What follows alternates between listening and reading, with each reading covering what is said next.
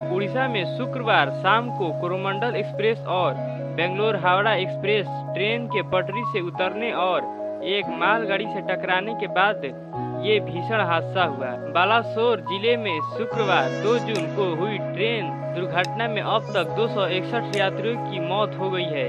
इस दुर्घटना में Bangalore Howrah superfast express, Shalimar, Chennai, central Coromandel express और एक मालगाड़ी शामिल थी। रेलवे बोर्ड के मेंबर ने शनिवार 3 जून को बताया कि कोरोमंडल एक्सप्रेस में बारह सौ रिज़र्व यात्री बैठे थे, जबकि एक हज़ार उनचालीस रिज़र्व यात्री बेंगलोर हावड़ा सुपरफास्ट एक्सप्रेस में थे।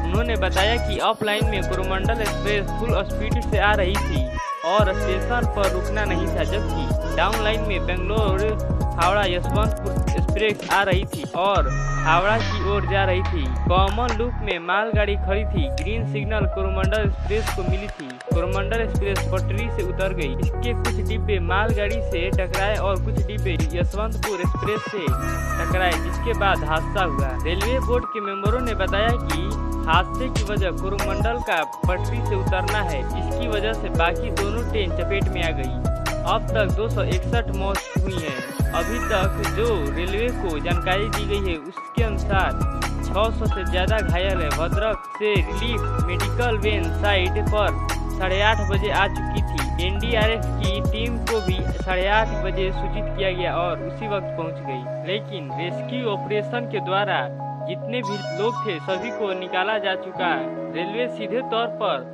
मानवीय गलती या मैकेनिकल खामी को मान नहीं रही है। हालाँकि ट्रेन के पटरी से उतरने के क्या कारण है? इसकी जाँच की जाएगी।